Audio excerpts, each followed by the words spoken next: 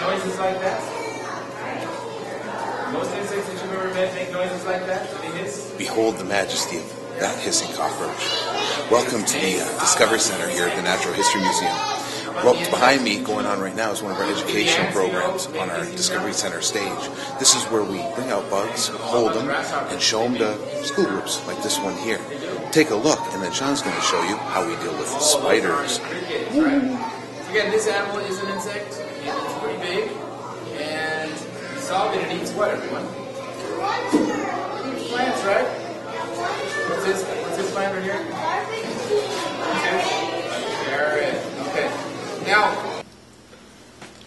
Well, welcome to our behind the scenes area here at the Natural History Museum. This is our insectary where we take care of all the bugs, you know, feed them, change their cages, hug them, kiss them, all the other things that, you know, you need to make a bug happy. I got Shauna here who's going to show you a little bit about how we actually handle our tarantulas. Shauna, what do we have in there? This is our Mexican red knee. Very beautiful, nice tarantula. Now this one's already been trained to be handled. Um, she gets taken out by our gallery interpreters and she actually gets touched by the public. So the first thing we do is we train them to be kind of, um, Like a submissive, I guess, right? yeah, just so they can be gathered without scooting off. So we kind of press down on their cephalothorax very, very, very gently, and that's the first training that we do with these spiders. So first, we wouldn't even be picking them up. We'd be coming in every day, pressing down on their cephalothorax right here, and making sure they were used to that before we even tried to pick them up out of their container. Just getting used to, uh, I guess, getting touched and having us around, right? Yep. Yeah. And then the next thing that we do, the next step would kind of be putting your hand down and kind of gathering the legs. Wow. It would be a little pickup That's a piece of cake. Now, why are you picking up that way and not just letting it crawl onto your hand? Now, one of the problems we've found with crawl, letting them crawl under your hand is if you put your hand in front of them, sometimes they'll think you're a piece of food. Um, and it could be a little bit scarier for them that way. Um, so bringing them like this, they do feel secure once they get used to it, and you can pick them up. And that way you can also show their underside, Oh yeah, the naughty bits. And you can show their There's the fangs. fangs. Something you can touch, by the way. And as you can see, she's not bringing her fangs out. If she were very angry with us, she would have her fangs sticking straight out, and she'd be in moving around a lot more too. So I'm being very, very gentle with her. I'm using very, very little pressure. My top finger here isn't even touching her very much at all. It's barely touching her back, and And where would you let people touch her now? I would let them touch her right on her abdomen, right there, that fuzzy part. So Brent can show you. And they might move around a little bit when they do feel people touch, but as you can see, her fangs did not come out. So she's very comfortable and very used to this.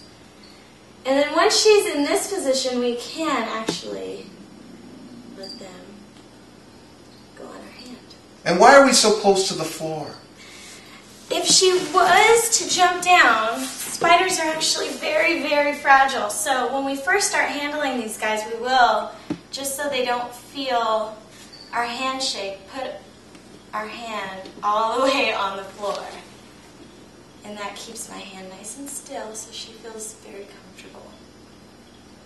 Yeah, a drop of even more than a maybe about two feet would probably kill a spider because the abdomen would rupture on a floor this hard. So all of our talks, even in the Discovery Center, are very near the ground or very close to it. So that if we do put a spider down in this way, just to show that you can do it, the actual we're actually being safe for the sake of the spider. That the spider won't be injured.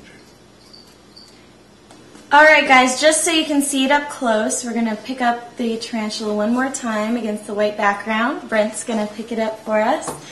Um, so first thing you're going to do is press down gently on the cephalothorax, and then you're going to put your middle finger and your thumb between those two front and back pairs of legs, and you're just holding her legs together gently. You're not squeezing hard or anything.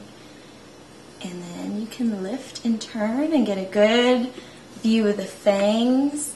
And all those parts on the bottom are actually, we do let people touch. And this is all after the spider goes through an initial training period. kind of desensitize them to us handling them.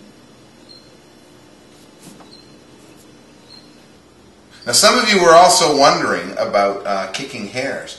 Um, this one here will do it sometimes, but I've got one that almost certainly will, and we'll be happy to show you in just a second.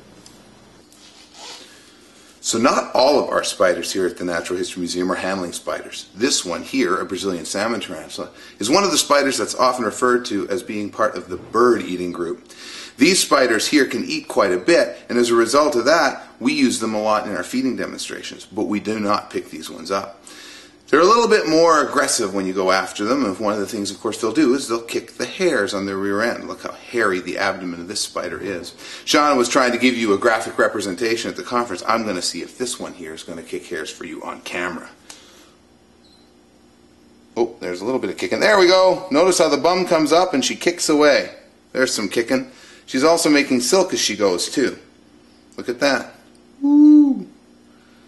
And that's all it takes, kicking hairs. A great defense. There she goes again. Big poof of hairs. Big poof of hairs. You don't want to breathe those in. Poof. Even I have to move back a little bit. Hopefully you got a little bit of a look at that. The hair kicking. There's a nice one. There's some more.